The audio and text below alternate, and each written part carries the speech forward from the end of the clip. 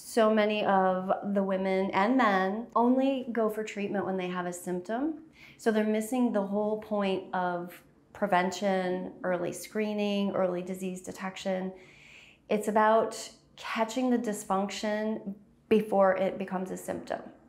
Um, oftentimes, our dysfunction starts years before we feel it. So, thermography is a way to screen for that.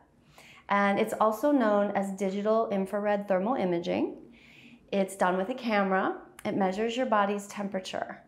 And what you need to know is that your temperature does not lie. If you have variations in your heat pattern, whether it's cold or hot, it's going to come through in these images.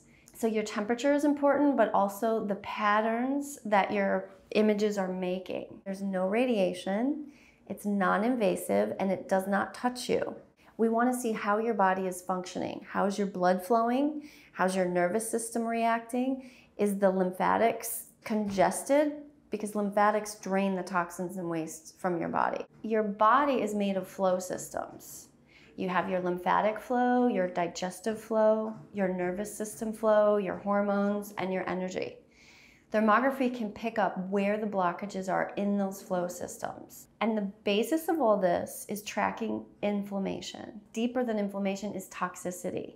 Because once you have toxicity, then you get inflammation. So, one of the reasons thermography is for early disease detection is because it can pick up cancer cells um, when it's about the size of a grain of rice. So that's at about two years. So you will have had cancer forming in your body for about two years. Um, it takes a mammogram eight years before it actually detects the calcification. At that point, it could be about the size of a dime, and that's over 4 billion cells.